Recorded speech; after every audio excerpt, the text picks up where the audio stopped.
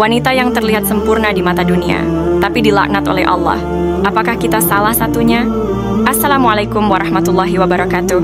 Apa kabar sahabat semuanya? Semoga kita senantiasa mendapatkan bimbingan Allah menuju jalan yang lurus. Seperti yang kita ketahui, banyak ladang pahala yang bisa didapatkan dengan menjadi seorang wanita, mulai dari menjadi pribadi muslimah yang baik sebagai istri, hingga sebagai ibu yang merawat keluarganya. Namun, tahukah kamu ada pula wanita-wanita yang akan dilaknat oleh Allah meskipun mereka seorang muslimah?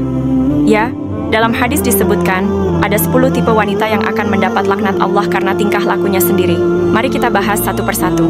Pertama, bertato atau mentato. Banyak yang mentato atau bertato supaya terlihat keren dan elegan. Namun, kegiatan ini sangat dicela oleh Allah. Rasulullah bersabda, Allah melaknat wanita yang mentato maupun yang meminta ditato. Hal ini berlaku juga untuk pria orang-orang yang mentato dirinya akan mendapat laknat Allah. Kedua, menghina sahabat Nabi. Beberapa wanita bahkan mencaci Nabi Muhammad dan para sahabatnya. Rasulullah bersabda, "Jika kalian melihat orang-orang yang mencaci maki sahabat-sahabatku, maka katakanlah laknat Allah atas keburukan kalian." Ketiga, mengubah ciptaan Allah.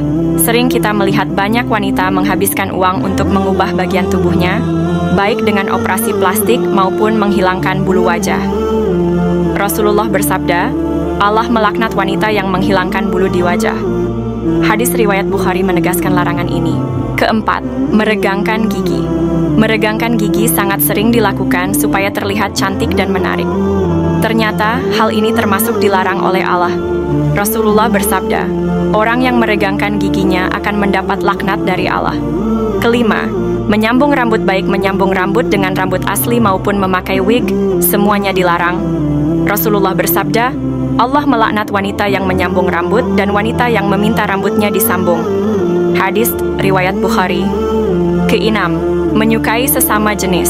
Belakangan ini, masalah LGBT menjadi sorotan. Sebagai muslim yang taat, kita harus menjauhi perbuatan ini. Rasulullah menyebut dua kali laknat bagi orang-orang yang melakukan ini. Allah melaknat orang-orang yang melakukan perbuatan kaum Luth. Hadis riwayat Ahmad. Ketujuh, pelaku riba. Riba merupakan hal berbahaya.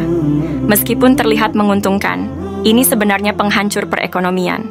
Rasulullah bersabda, Allah melaknat orang yang memakan, memberi, menjadi saksi, dan mencatat riba. Kedelapan, menyuap dan menerima. Suap menyuap dan menerima suap merupakan tindakan tercela. Rasulullah bersabda, Allah melaknat orang yang menyuap dan menerima suap. Kesembilan, menyerupai laki-laki. Banyak wanita yang menyerupai laki-laki, baik dari pakaian maupun gaya rambut. Rasulullah bersabda, Allah melaknat laki-laki yang menyerupai wanita dan wanita yang menyerupai laki-laki. Hadis riwayat Ahmad. Kesepuluh, berpakaian ketat dan mengumbar aurat. Di zaman sekarang, banyak wanita yang berpakaian ketat dan mengumbar aurat. Ini sangat dilarang dalam Islam. Rasulullah bersabda, ada dua golongan penghuni neraka yang belum pernah aku lihat. Wanita yang berpakaian tetapi telanjang. Hadis riwayat Muslim.